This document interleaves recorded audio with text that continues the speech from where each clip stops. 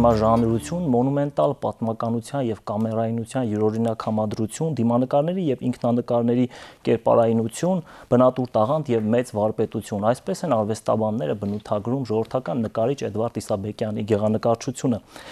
Էդվարդ Իսաբեկյանի 100-ամյակը լրացավ օրերս եւ այսօր թեմայի տաղավարում նրա կյանքի եւ ստեղծագործության մասին զրուցելու ենք նրա որդի Գեղարվեստի Պետական Ակադեմիայի ռեկտոր Հայաստանի Հանրապետության արվեստի վաստակավոր գործիչ պրոֆեսոր Արամ Իսաբեկյանի հետ։ Բարև ձեզ, պարոն Իսաբեկյան։ Շնորհակալ եմ, որ ժամանակ գտաք եւ հյուրընկալվեցիք։ Ինչպես է սկզբնավորվում Էդվարդ Իսաբեկյանի ստեղծագործությունը։ Խորթային այդ առաջին տարիներն էր, տասնամյակներն էր, ծանր տարիներ, պայմաններ, ով կամ ինչը ուղղորդեց Էդվարդ Իսաբեկյանին դեպի նկարչությունը։ Դե երևի ճակատագիր է, ասենց ասեմ, որովհետև Փաստորեն ինքն էլ որ պատմում էր, տանիքում ծնողների մեջ արվեստագետներ չեն եղել, նրանք ծննդով իգդիրեցի են, հա։ Այո, այո։ Որը ցավոք հիմա սահմանից են կողմը գտնվում, բայց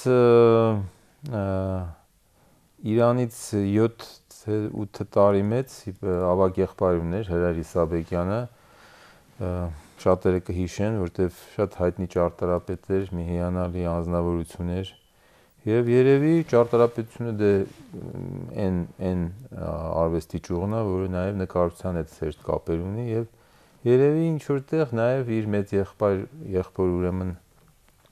հետևորդն է եղել տառումով, բայց ինքը ոնց որ պատմում էր փոքր ժամանակվանից նույնիսկ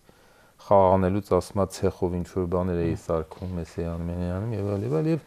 իրան իրան կյանքը այդպես ուղղել է դեպի ուրեմն արվեստը եւ շատ երիտասարդ հասակում դե որ ասում այդ որ թվերն է 20-ական թվերն է ուրեմն նաեւ իր ուղին սկսելուց եղել է պիոներ կանչում պիոներ կանչի ուրեմն խմբագրության ուրեմն նկարիչն է եղել երբ որ դեր ուսում չի ունեցել հետո ուրեմն նատուր տաղանդը եղել է եւ նույնիսկ այդ եւ նրանք ովքեր որ հիմա իր հարյուրամյակին նվիրված ցուցասրա ցուցահանդես ուրեմն ազգային պատկերասրահում եղել են այդ ցուցահանդեսին, նաև այնտեղ ֆոտոշարք կա, որտեղ որ կարող են տեսնել այդ ուրեմն այդ խմբագրությունը այդ բներ կանչի Գուրգեն Բորյանի հետ, որը խմբագիրներ Եվ այդպես սկսել է, հետո արդեն շարունակվել է ուրեմն այն ժամանակվա ուրեմն ուսումնարանը, հետո ուրեմն Թբիլիսի ակադեմիա եւ արդեն հետագա իր կյանքը ում էր համարում իր ուսուցիչ այդպես, հատկապես նրա գեղանկարչությունը ես տեսա արվեստաբաններ համատում Եղիշե Թադևոսյանի, հատկապես Վարհամ Գայֆեջյանի նկարչության հետ եւ Վարհամ Գայֆեջյանը նրա ուսուցիչն է եղել հենց ուսումնարանում։ Ազդեցություն տեսանելի է եւ ինքը համարում էր այդպես իրեն ուսուցիչ չէ, շատ էր հարգում իհարկե Գայֆեջյանի, երևի երևի ինչ որ եւ նա կարևոր դեր է խաղացել իր ճակատագրի մեջ, ես դրա մասին գիտեմ նաև վաղ շրջանում իհարկե հետագայում իհարկե ճակատագրական է եղել իր հանդիպումը Բաժբեկ Մելիքյանի հետ երևի եթե այդպեսի ազդեցություն ազդեցության մասին խոսենք ուրեմն երևի հենց այդ այդ այդ հանդիպումն է եղել եւ ավելի շատ քան թե իր շատ շատ հիանալի վրացի ուրեմն դասախոսները որովհետեւ ինքը Թբիլիսի ակադեմիայում սկզբից ուրեմն թողել է գրաֆիկայի բաժին եւ այնտեղ կարծեմ 1.5 տարի սովորելուց հետո եւ կարող է շարունակել այդպես էլ մինչեւ վերջ ուրեմն տեսնելով ուրեմն լինելով Բաժբեկ Մելիքյանի մոտ եւ նայել ուրեմն այսպես ցանկություն ունենալով երևի շնորհք է զգացել եւ իմիջիալուց էդ էլ ասեմ որ քանի որ նրանք ապա ապագա իր կանոջ ուրեմն Արփենիկի մայրիկի հետ ուրեմն նույն կուրսում էին սովորում եւ կար նաեւ Մկրտիչ Քամալյանը, որ նաեւ հիմա շատերը կարողա չեն հիշում, բայց մի հիանալի նկարիչ էր, որը որ նույնպես այդ կուրսում էր եւ նրանք երեքով այցելում էին Բաժբեկ Մելիքյանին, հետո մնացին ուրեմն հայրիկն ու մայրիկը եւ Բաժբեկ Մելիքյանը, որը որ այնքան էլ հեշտ չէր թողում իր մոտ ուրեմն որ այցելություններ լինեն եւ իր նկարչական ուրեմն տենց հմտությունները բաները տեսնեն մանավանդ աշխատելուց թողում էր որ հայրիկն ու մայրիկը այցելեն իրեն եւ այդ ազդեցությունը եւ հայրիկի մոտ եւ մայրիկի նկարության մեջ շատ հստակ երևում է այդ ժամանակ եւ եթե հիշենք հայրիկի էլ նաեւ ուրեմն այդ ասածները ուրեմն դա է եղել այդ այդ ասենց ասեմ այդ ստիմուլը, հա, որ որ որ ինքը զգա այդ ամբողջ հարստությունը եւ փոխում է ուրեմն արդեն գեղանկարի բաժն է ընդունվում եւ շարունակում է իր ուսումը։ Երևի այդպես։ Հետո արդեն իհարկե իր տեսած ուրեմն արդեն բազմաթիվ են նկարիչները, որոնք որ իրեն ողջևորել են, դրանք իհարկե ռոմանտիկներն էին, Դելակրուան, Ժերիկոն, Ռուբենսը, հետո արդեն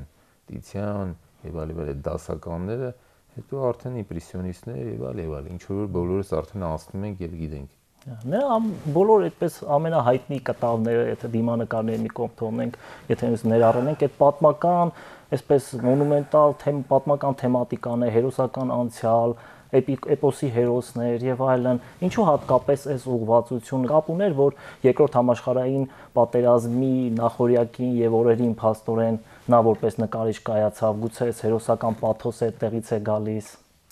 Ինքը ինչպես էր բացատրում։ Իրեք երբ որ որ արդեն ոչ թե նայում ենք այդ շրջանները, այլ ընդհանուր իր նկարչը տեսնում ենք, որ ամեն ինչ էլ կա։ Այսինքն հա, չափավոր ամեն ինչ էլ կա։ Եվ եթե հիմա նույնիսկ նայենք ընդհանուրությունը, որ տեսնենք, որ այնքան էլ մեծ մաս չի կազմում։ Չնայած այդ իր մեծածավալ կտավները, բաները, իհարկե դրանք պատ ինքը չէր սիրում։ Դրանցով ավելի հայտնի է կարծես։ Ինքը ինքը ամենալավն էր, ինքը իր մասին ասում, ներկայացնում եւ դրա առիթները եղել է, ֆիլմեր էլ կան, որտեղ որ եւ իհարկե ինքը գրելով էլ ներկայանում էր։ Ինքը ասում էր, որ պատմական թեման միայն առիթ է ինչ որ բան ասելու, հա։ Սա երբեք իլյուստրացիա չի Այսինքն սա մի գրական ինչ որ թեմայի կամ պատմական դեպքի իլյուստրացիա չի, որ մարդիկ տեսնեն թե ինչ ինչ որ ինչ որ կոնկրետ այդ րոպեին ինչա կատարվել։ Չէ, միշտ ինքը ինչ որ մի բան ուզում էր ասել։ Եվ այն հաջողված նկարները, որոնք որ նրանք ունի, անպայման այդ նկարներով նաև ինքը շատ հայրենասեր մարդ լինելով, իր հայրենիքը սիրող ուզեցել է ինչ որ մի բան ասի, որ որում երբ որ հաջողություն է հասել, նաև ասել է։ Օրինակի համար պատասխան հասկերտ նկարը որ կա, հայտնի եւ դրա շատ վարիանտները կա, հա։ Օրինակ կա Վարդանանքի իլյուստրացիաները։ Մեկը օրինակ Վեհապարի մոտ է, ուրեմն ժամանակին ուրեմն ազգային կաթողիկոսին է նվիրել եւ այդ մեծ կտավը ազգային պատկերասրահում նա ասում էր որ ախր ես այս նկարով ուզեցել եմ ասեմ, որ նույնիսկ մեր ժողովուրդը, որը որ փոքրաթիվ է եղել այն ժամանակ էլ, հա, ուրեմն աշխարհի համար առաջին ժամանակվա հզոր պետությանը կարողացել է միաբանության ուրեմն դեպքում, ուրեմն երբ որ միավորվել են եւ ուրեմն իշխանները եւ ժողովուրդը եւ ուրեմն տարբեր ուրեմն խավի մարդիկ կարողացել են ասել ոչ։ Եթե ասում եք կարող ենք ասել ոչ ուրեմն աշխարհի ամենահզորին, ուրեմն այդ միաբանության դեպքում ուրեմն մենք կարող ենք մեր մեր ուրեմն իղձերին հասնենք։ Սա է իմաստ այդ ամբողջ նկարը։ Եվ իր տաղանդի ուժով ես կարծում եմ, այդ այդ նկարի ուրեմն արդեն իր իր բոլոր հնարավորությունների մենք այդ այդ այդ բանը զգում ենք, այդ միասնությունը, հա, եւ իր իր միտքը ինքը հասել է, որովհետեւ կան նաեւ աշխատանքներ, որոնք որ ավելի շատ տենց պարզապես պատմական նկարներ։ Դրանք ավելի վաղ շրջանում են եղել եւ կամ որոնք որ զգում ես որ փորձեր է արել, պարզապես առիթ է ընտրել, որ เป զի նկար նկարի, որտեղ մարդին ինչ որ մի բան աներ, չէ։ Այդ շարքից էլ աշխատանքներ կան, բայց հետագայում արդեն ամեն ինչ մտածված է եղել եւ նույնիսկ հիմա արվեստաբանները գտնում են, բայց դա վաղուց հայտներ։ Օրինակ նա ունի հանրապետության ծննդի աշխատանք կարծեմ, եթե չեմ սխալվում, 62 թե 70-ական թվերի աշխատանք է, parza սովետական միության են վառ ժամանակը, հա, եւ ներկայացրել է ցուցահանդես եւ ես զարմանում եմ այդ ժամանակ ոնց են թույլ տվել այդ նկարը առաջին հանրապետության ծննդի մասին։ Չէ, դե հանրապետության ծնունդը, նու երևի եկել հասկացել եմ, որտեղ ընդ բանա մարտակարգ է, հա, եւ մի պատանի է, մեծ նկար է Եվ բայց երբ որ նայում եք, տեսնում եք իր շորը ուրեմն հակած, ուրեմն եւ դրոշակը եւ ընդեղ էլի ինչ որ մի բան, բերագույնն է։ Պարզ երևում, այսինքն նույնիսկ շատ պետք չէր խելոք լինել կամ չգիտեմ ինչ աշկ ունենալ, որ հասկանան, որ սա մարդը դրա մասն է ասում։ Չնայած այնտեղ ձի այդ կարգի վրա նաև կա այդ սովետական շրջանի գերբը, այս թեթև երևում է, էլի։ Այսինքն ուզեցել է իր ասածը ասի, հասկանում եք, ինչ որ հենց այնց ձեր նկարելու համար դա չի եղել կամ ինչ որ ներկայանալու համար ինչ որ նկարով միշտ իր ասելիքը հասցրել է։ Եվ իհարկե պարզապես նկարչական խնդիրներ ա լուծել, որոնք որ արդեն հետո տեսնում ենք իր ամբողջ նկարչության հետ իր կոմպոզիցիոն աշխատանք։ Եվ ես ձեզ մի բան էլ ասեմ, առաջ եմ ընկնում իհարկե ձեր հարցից։ Եթե մենք հայ կերպարվեստի ուրեմն պատմությունը վերցնենք եւ նայենք մեր նկարչությունը բանը, կտեսնենք որ եւ կանա, կանանց վերաբերյալ նրա նկար ինչ որ նա կինը իր նկարության մեջ, հա, քան էլ շատ չի հայ նկարության մեջ կինը։ Ուրեմն բաժբեուկի մոտ է եւ իր մոտ է։ Ընդհանրապես կնոջ գեղեցկությունը, մեր կինը ուրեմն տարբեր ուրեմն ձևերով, տարբեր վիճակներով եւ այդ կանա կանոջը արվեստի միջոցով ներկայացնելը միշտ եղել է իր արվեստի մեջ։ Դա լինի պատմական նկար, դա լինի, չգիտեմ, ես ինչ որ պարզապես ինտիմ արվեստանոցում ինչ որ նկար, գեղեցկությունը շեշտված կամ իր գեղեցկությունը, իր մոտեցումը որ եղել է։ Հետել է հետաքրիր արվեստի մեջ այդ այդ ճյուղը կա եւ իր գեղանկարչական աշխատանքների մեջ եւ իր գրաֆիկական աշխատանքների մեջ, ինչեւ կյանքի վերջը։ Խորթային շրջանում ստեղծագործական ազատության սահմանափակության դեպքեր եղել են, գիտենք, որ այդպիսի բան կար, գաղափարական ճնշում, հաստատում էին, չէին հաստատում, միջամտում էին արվեստին։ Գիտեք, եթե Իրան իշենք էլի ինքը անդրադարձել է այդպիսի ինքը նույնիսկ բարկանում էր որ տենց հարց ընդ ասում էր ոչ մի սահմանափակում չի եղել, հա, եւ սովետական շրջանում եւ եթե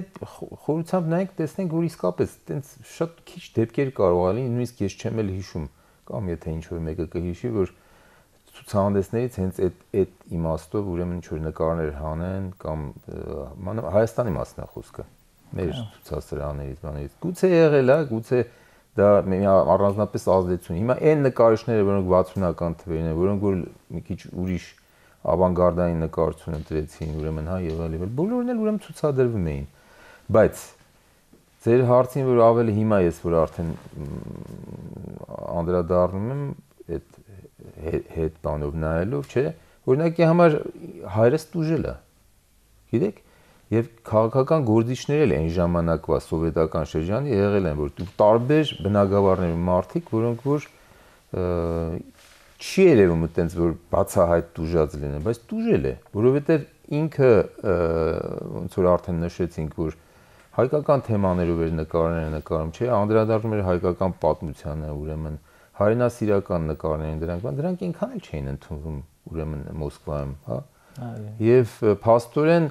այն ինչ որ նա կարող էր ավելի բարձր կոչումներ ստանալ բան եւ ինչ որ մարդիկ որ ստացել, այսինքն ավելի պահանջը կար որ ընդհանուր նկար լինի, սովետական միությունը փառաբանող։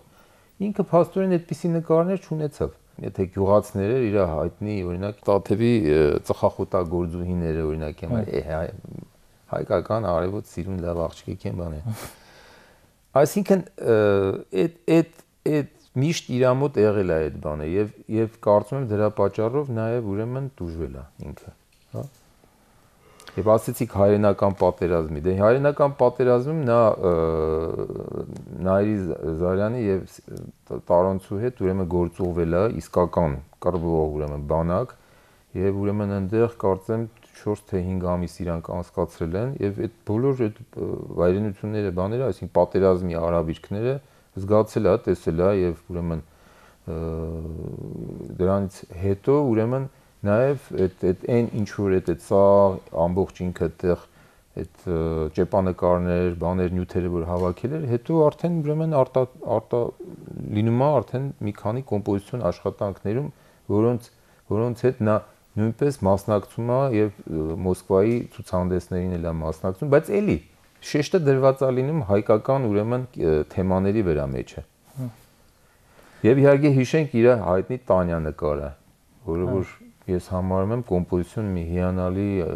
ստեղծագործություն է, բայց էլի օրինակ ռուսների մոտ տենց մի առանձնապես բան չեղավ, որովհետև մեջը շեշտը այնպես է դրված, որ շատ ռոմանտիկ բան նկար է, գե շատ գեղեցիկ նկար է, երկնքով բանը, իհարկե տրագիզմը իրա վերցրած եւ ամբողջությամբ, բայց միշտ այդ ասած ասած սետա որ այդ այդ տեսակ այդ տեսակով երևի դժվել է Կարող է ինքը մի համաձայն չլիներ հիմա։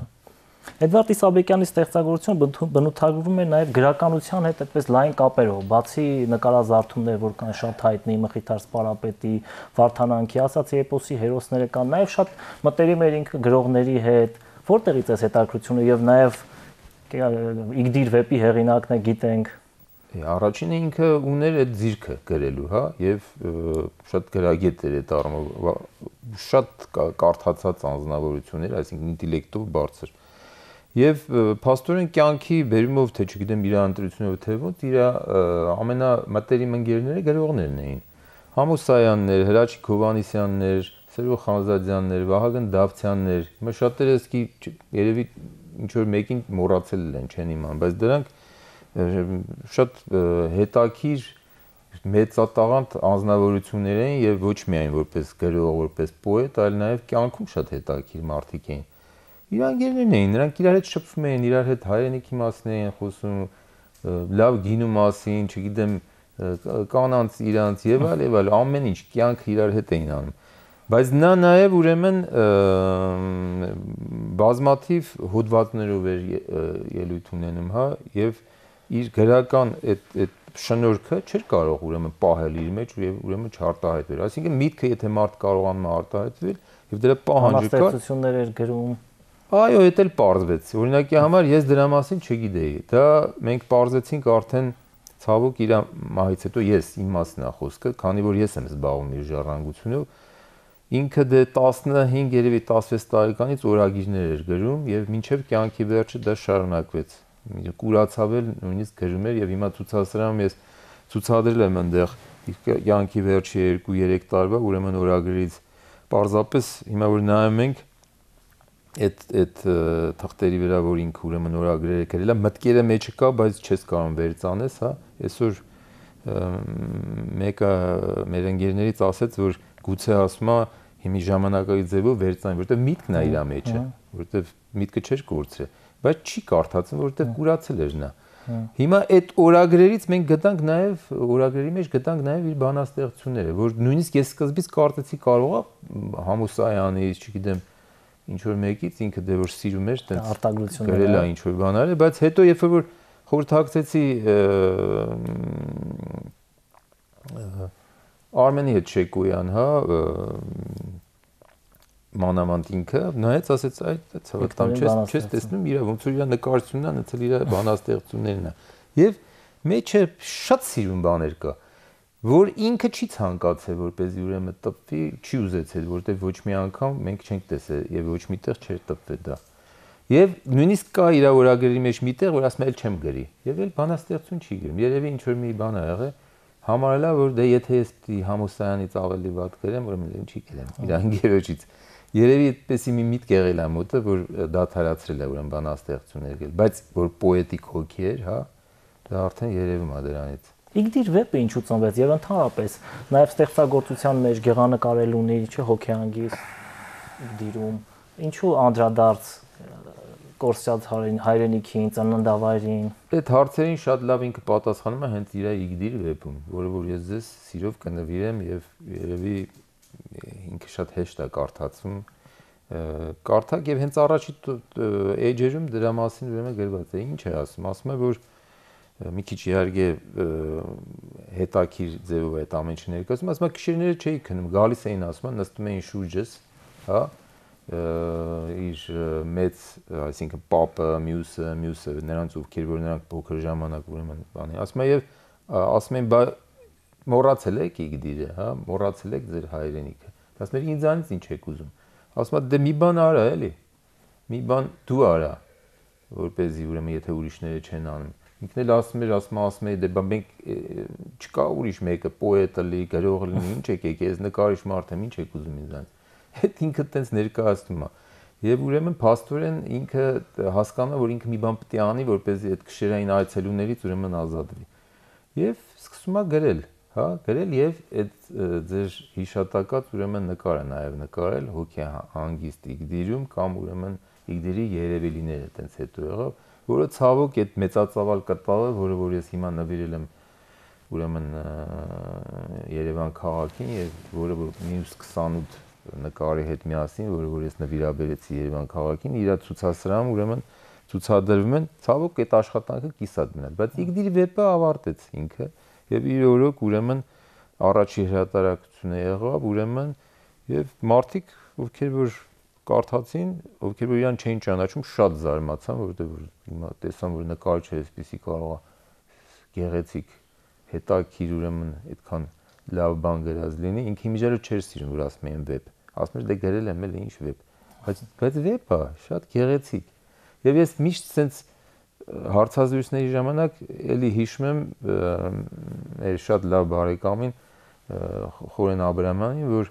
Խորեն Աբրամյանը միշտ ասում էր, ասում էր, որ ես շատ եմ ուզում ֆիլմ հանեմ։ Ծակումով է տեղից չէ, եւ Հա, իրանք էլ էին իգդիրեցի, բայց այդ գրքի վրա շատ էր ոգևորվել ինքը ու ասում էր դուք չեք պատկերացնում ինչ ֆիլմ եմ հանելու ասում էր դու ամերիկյան ոճի ասում եմ մի ֆիլմ եմ հանելու որ sense ծերից ծեր մարդիկ բերանը բաց նայեն որովհետև իսկապես երբ որ կարդում ես տեսնում ես ինչքան համով հոտով է գրված ինչ կերպարներ կան ինչ տրագիզմ կա բայց նաև ինչ մեծ հումոր կա այդ գրքի մեջ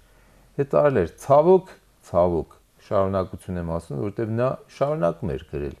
Եվ Երևանի մասին էլ մի հիանալի ուրեմն էլի բաներ գրելու եւ որը որ որի որ էսկիզներն են մնացել, հա։ Եվ որ փաստորեն ինքը կուրացավ եւ ուրիշ ձև չէր համաձայնում, այսինքն որպեսի թելադրեր կամ ինչ որ, որովհետեւ ասում էր ես պիտի գրեմ, ջնջեմ, նորից գրեմ, այս անեմ, այն անեմ։ Ձևը սա չեմ կարող։ Եվ հիմա երբ որ այդ էսկիզները կարդում ենք այդ Երևանի, շատ եմ ափսոսում, որ գոնե մի 80%-ը լիներ, ուրեմն, բայց այդ ձևով էլ կարող կարող է մի օր իլույս աշխարհ գա։ Այնպես որ է սենց։ Անավարտ նկարներ շատ կան, այդ մեկը նշեցիք, ընդհանրապես անավարտ մնացած գործեր։ Գիտեք, տենց նկարիչ չկա, որ անավարտ գործեր չունենա ինքն էլ ունի իհարկե, բայց հիմնականը տենց մեծ կտավը դա է եւ մի հատ էլ ուրիշ կտավ ուներ, էլի մեծը սկսել էր եւ այդ երկու մեծ կտավներն էլ արվեստանոցումը տենց կիսատ մնացին։ Այն մյուսը, որը որ կոչվում էր դուրս տաճարից, էլի սկսել էր մեծ, գիտեք 4 մետրանոց կտավ էր։ Հիմա ծալած ունենք մեր տանը, այսինքն որտեղ որ պահեստավորել եմ։ Դա էլ ուրեմն էլի միտքը դրել էր մեջը, որ մեր մեծերը ուրեմն տենց կոմպոզիցիայով վերևը ուրեմն տաճարի եւ փաստորեն Քրիստոսի թեմայով որ մտնում է է դուրս չի առևտրականներին ուրեմն տաճարից Երուսաղեմի սա էլ այդ մտկով ուրեմն արված էր որ մեր մեծերը ազգի ուրեմն ամենա բոլորի բոլորիս հայտնի ուրեմն գրողներ քաղաքական գործիչներ չգիտեմ արվեստի եւ այլ եւ այլ մշակույթի վերևը բոլորը տենց կանգնած եւ քշում են այն որպեսզի մաքրվել է մեր հասարակությունը եւ կարողանա ժողովուրդը շունչ քաշի ապրի։ Տենց նկար էր նկարում, որը շատ գեղեցիկ կոմպոզիցիա է, դրա էսկիզը օրինակ էլի նվիրել եմ ուրեմն այդ Երևան քաղաքի ուրեմն այդ իր ցուցասրահին։ Այդ մեծ մեծ կտավը մնաց կիսատ ոնց որ այդ իգդիրի երևելիները։ Իսկ այնպես իհարկե ինքը որ կուրացել էր, թվում էր մարդկանց, թվում էր թե ինչ որ կիսատ, երբ որ ժողաներկով չէր աշխատում այդ գրաֆիկական իր շարքերը, թվում է թե կիսատ ոչ մի կիսատ նկար չկա։ Պարզապես արդեն այդպես էր ինքը նկարում։ Եվ այդ վիճակի մեջ դրանք բոլորը հիանալի ստեղծագործություն են ըստ ինձ։ Ինչ պետք է արվի վարպետի ստեղծագործությունը պատշաճ կերպով ներկայացվելու համար։ Իհարկե լավ ներկայացվում է կարծես թե պատկերասրահում կա, ցուցասրահը կա։ Գիտեք, ես ես ես կարծում եմ ես դե քիչ բան չեմ անում, էլի իհարկե անում եմ ինչ որ պետք է հորս հիշատակը պահպանելու համար անում եմ եւ մարդիկ տեսնում են դա, բայց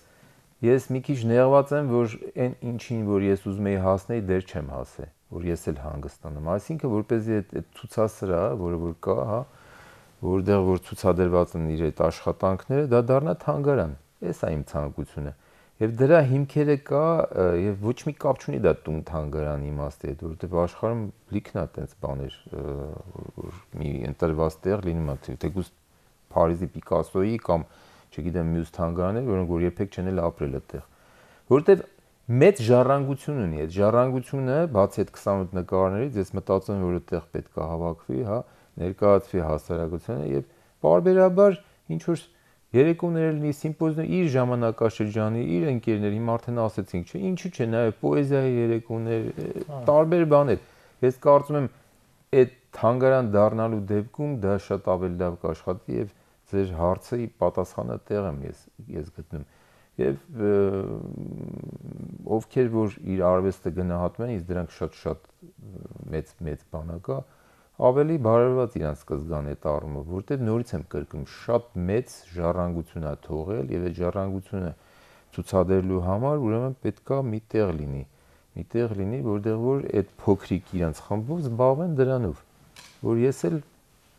ասեմ, որ լավ ձեռքերում են արդեն այդ ամեն ինչը։ Շնորհակալություն զրույցի համար։ Շատ թեմաներ կային, բայց մեր ժամանակը կարծես թե սպառվեց արդեն։ Մաղթում եմ, որ ձեր նպատակները, ցանկությունները կապված Իսաբեկյանի ստեղծագործության պատշաճ ցուցադրության հետ կապված իրականություն դառնան։ Ես էլ ձեզ եմ ուզում շնորհակալություն հայտնեմ այս հետաքրիր զրույցի համար եւ շնորհակալ եմ, որ այդպես լավ պատրաստվել եք ուրեմն այս զրույցի համար։ Շնորհակալություն։ Հայաստանի Հանրապետության արվեստի վաստակավոր գործիչ պրոֆեսոր Գեղարվեստի Պետական Ակադեմիայի ռեկտոր Արամ Իսաբեկյանի հետ զրուցում ենք Էդվարդ Իսաբեկյանի ստեղծագործության մասին տեսանք, որ իհարկե վարպետի ստեղծագործությունը բավական լավ ներկայացված է, սակայն միշտ նորովի ներկայացնելու կարիք կա եւ դեռևս շատ այդպես անտիպ նաև ստեղծագործություններ կան, նաև չցուցադրված նկարներ կան, որոնք ապագայում թերևս համապատասխան պայմանների արկայությամբ կցուցադրվեն եւ կներկայացվեն հանրությանը։ 太俗了。